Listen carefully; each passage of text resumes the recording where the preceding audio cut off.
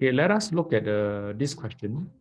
So for number one, answer is two, because uh, this part is the chloroplast pointing at B. So in the presence of sunlight, chloroplast enable this cell to make food. So which part of the cell can be both found in animals and plant cell? So answer is two is A, B, and C. So A, you can find nucleus, right, in both plant and animal. Cytoplasm can be found both, and see the cell membrane. Okay, next one, they say which, the diagram below shows four different organisms, unicellular. Okay, unicellular means uh, they are single cell. And actually one of them is very unique. It is able to make its own food. So I like to share with you this very interesting organism through this video. So you can sit back and relax this video. I would, some part of it I will fast forward because it's a nine minutes, 39 second video. We have this preconception that animals feed on other organisms while plants peacefully do photosynthesis. Animals move while plants are immobile. That may well be the case in the macroscopic world. At the microscopic level, this distinction between plants and animals collapses almost entirely. Euglena is both. So this organism is called the euglena. Can you see euglena?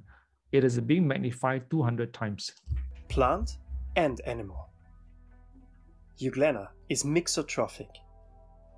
When magnified a few hundred times, Euglena mostly appears as a cigar-shaped, almost worm-like microscopic creature. Although its appearance may vary among its roughly 900 species.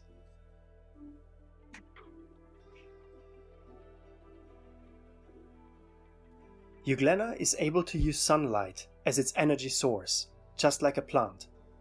So it says that actually it can make use of sunlight as an energy source because it has this uh, chlorophyll within its chloroplast to make food. While it is also able to feed on organic matter and in some cases even to hunt prey. Euglena actively pursues the sunlight with a primitive eye and a motor called a flagellum similar to the long tail sperm cells use for. Okay, this part uh, you can see is moving uh, like a feelers. Uh. That's a very unique design by God. Uh. It's called a flagella.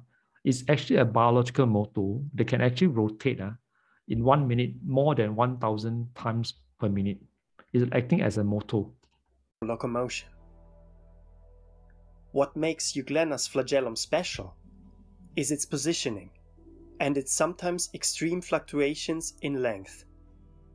To the contrary of what you might expect, the flagellum is not attached to the tail end of the cell, but it is attached to the head, performing a pulling motion. Some Euglena species have extremely short flagella, which are almost useless. This is too short. Huh? So for this is the eye. Uh. So sometimes this uh, Euglena has a nickname. Uh. It's called a, like a green dragon. While others have flagella so long, they are more hindrance than help. Euglena can dispose of its flagellum and rely also on another form of locomotion called metaboly, which allows them to slither and glide like a worm. This is made possible by the flexible cell. Euglena has no cell wall and instead is covered in a thin, malleable sheath with a distinct surface structure.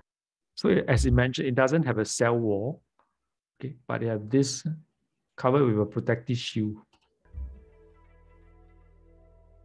Considering these features, it is no wonder that Antony Leeuwenhoek described euglenas as green worms when he first discovered this microscopic wonder during the late 17th century. Green worm. But euglena is all about the eye. Ehrenberg, a naturalist of the 19th century, decided that the eye should be the name giving feature of Euglena, which is Greek for beautiful eye. This ominous eye is a distinct red spot, giving Euglena the appearance Okay, the appearance of you here. Of a little angry dragon. Little angry dragon, uh, little angry dragon. The red eye spot is not light sensitive. On the contrary, it blocks light. The light sensitive structures are beneath and around it, allowing Euglena to determine the exact angle of incidence by the shadow the spot casts on the light sensitive molecules.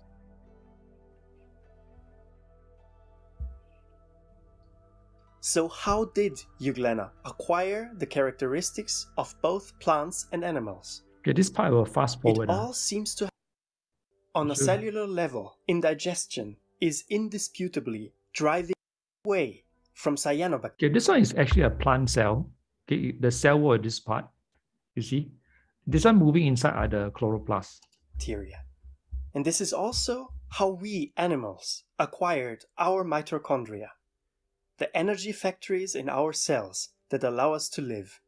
On a cellular level, indigestion is indisputably driving evolution forward. This extreme density in carbohydrates and other complex organic molecules makes Euglena an interesting candidate for the production of biofuels and as a potential food source of the near future. Let's take a closer look at Euglena's fascinating behavior. As an example, we will use Euglena sanguinea, the blood Euglena.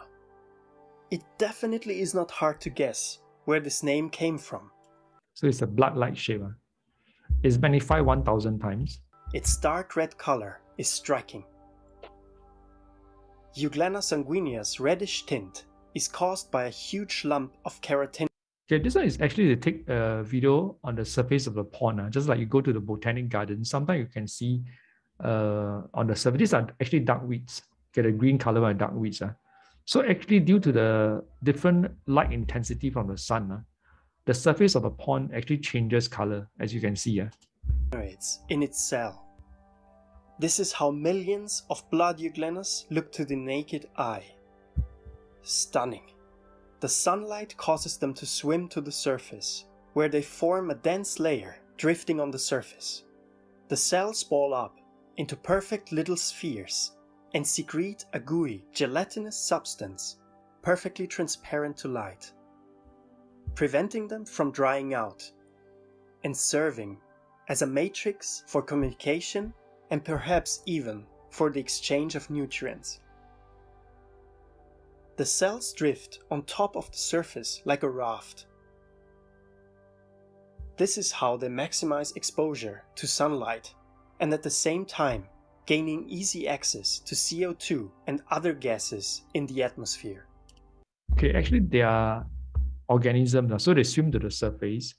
So if the light intensity is just nice, uh, you can see they change almost fully green uh, to uh, absorb more sunlight for the process of photosynthesis. So you can see actually on the surface of the water, there are air bubbles being released. So those are oxygen being produced. In these conditions, their photosynthesis is going full throttle, causing the gelatinous matrix to bubble up. Can you see this part? That this bubble being released, these are actually like the oxygen bubbles being released in the process of photosynthesis. So generally, you see they are there are million billions of them. Uh. So this part is the brownish color. With oxygen.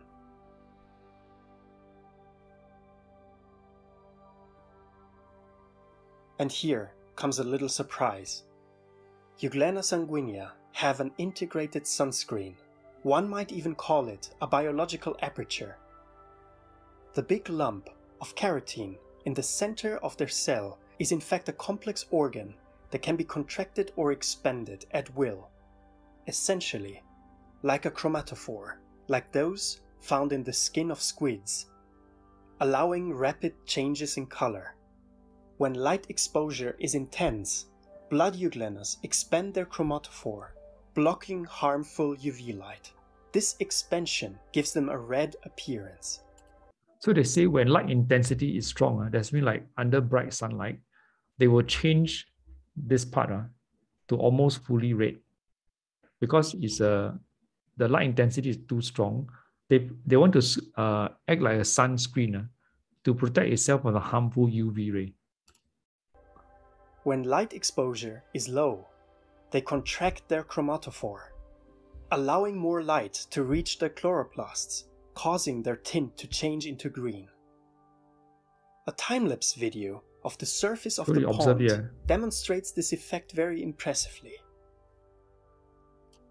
So this part, uh, because the when the light intensity is just nice, not too high, they will op- they will turn to green to absorb as much sunlight. But when the light intensity is high, they will change to this, okay, to red color to reduce exposure. Direct sunlight colors them blood red, while shade tints them green. In this footage, you can see the expansion of the chromatophore happening under the microscope as they try to protect themselves from the intense light of the microscope illumination. When the layer of cells drifting on the pond's surface is disturbed by mechanical stimuli like rain or splashing, the cells start to dissolve the matrix, shifting back into eugleniform and start to swim into the gloomy depth of the pond, where they are waiting for the return to the surface. What fascinating creatures they are. Thank you very much for watching. So indeed, they are very fascinating. So one of the adaptations are because you all learn about animals and plants adaptation, right? So the adaptation of this Euglena is its ability to control the amount of sunlight it can receive by the changing color effect. So we go back to the question. Okay, so the answer for this is definitely three lah, because this this organism it can okay it can make its own food in the presence of light. Okay, next one. Okay, this one is quite easy. So the answer is one. Okay, so you mark this one uh, one, four.